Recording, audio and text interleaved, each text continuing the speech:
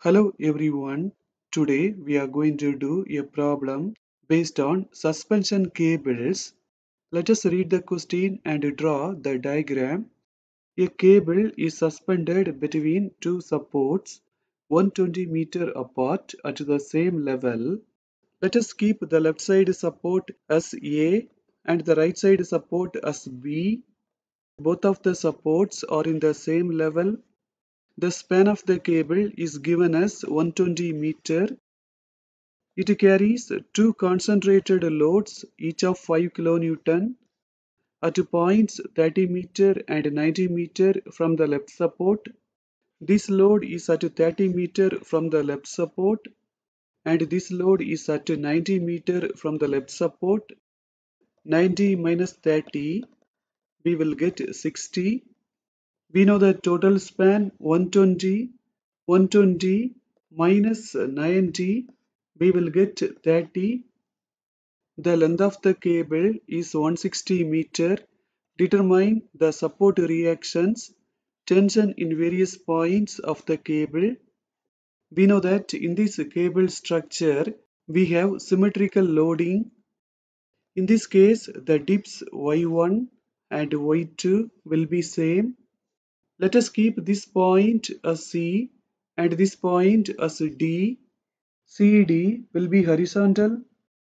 In this question, first we have to find the support reactions. Let us find the vertical reactions VA and VB.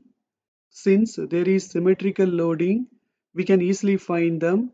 For that, we have to add both of these two loads and then divide that by 2 in this way, we will get VA and VB.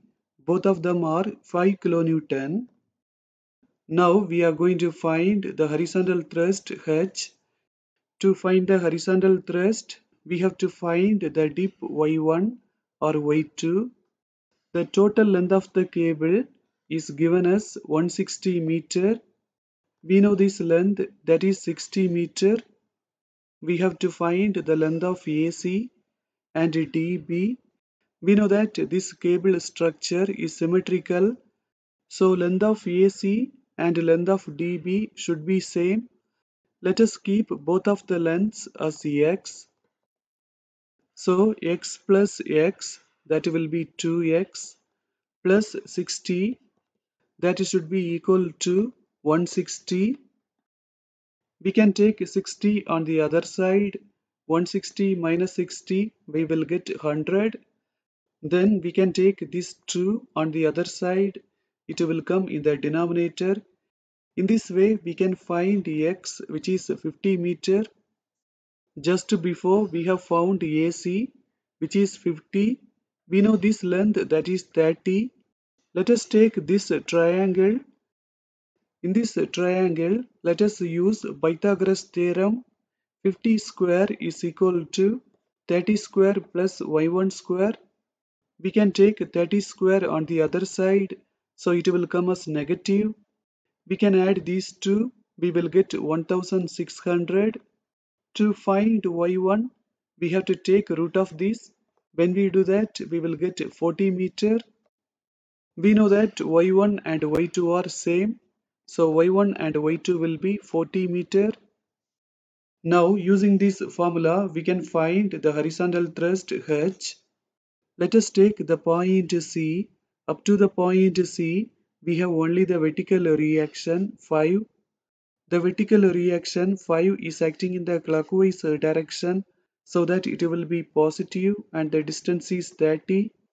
In the point C, y is 40. Finally, for H, we will get 3.75 kilonewton now let us find the tension in all of the segments. In AC and DB, the tension will be same. For all of the segments, the horizontal component will be the horizontal thrust 3.75. For AC, the vertical component is the vertical reaction 5. For CD, the vertical component is 5 minus 5 so that it will be 0 then using this formula, we can find the tension. Now we are going to end this session. Thank you for watching this video.